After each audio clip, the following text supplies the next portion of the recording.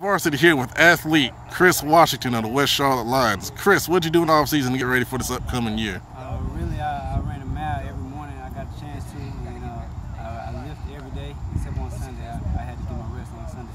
That's great, man. That is great. Uh, so, what's your goal for this upcoming year? Uh, this upcoming year, I'm looking for a thousand yards and uh, over over ten touchdowns. All right, real specific. I like that.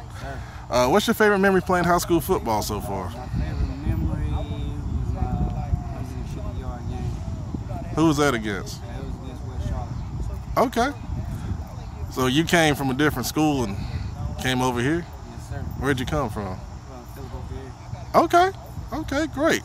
Uh, why, why did you uh, choose West Charlotte? Uh, West Charlotte, uh, they really got, got me a chance to uh, talk to a lot of college coaches and got me on a lot of college campuses. Okay, excellent, excellent. So outside of football, what do you like to do in your spare time? In my spare time, uh, I like to eat a lot eat a lot. Uh, go to the movies. I'm really, I'm really big on movies. okay. Watch, uh, different actors. I think I want to be an actor when I grow up. Oh man, that's awesome. What's your favorite movie? Uh, favorite movie right now would be Furious Seven. Okay, okay, that's a good choice.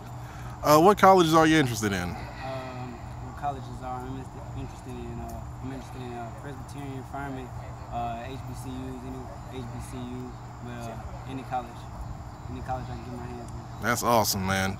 But we'll be watching and we'll see if you get that thousand yards. I think you can. Appreciate the time.